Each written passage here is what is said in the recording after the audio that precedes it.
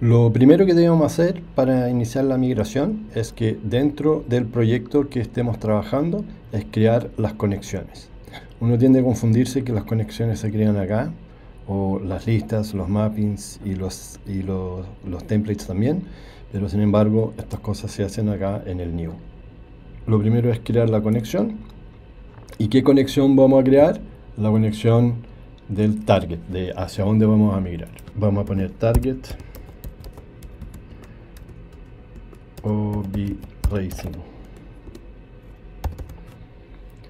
Esto es solamente el nombre y lo ponemos así para después poder distinguirlo de forma más fácil.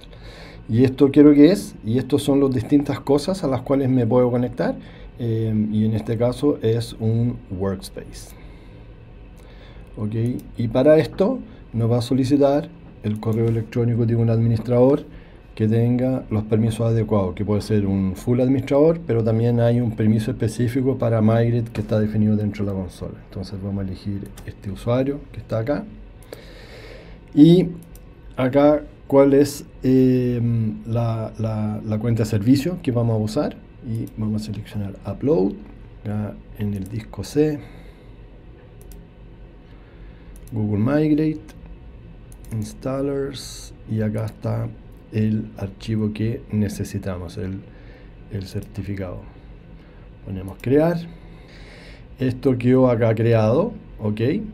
Eh, el nombre, hacia qué cosa nos estamos conectando a un workspace y eh, la cuenta de servicio que estamos usando. Como sé yo que esto está bien conectado?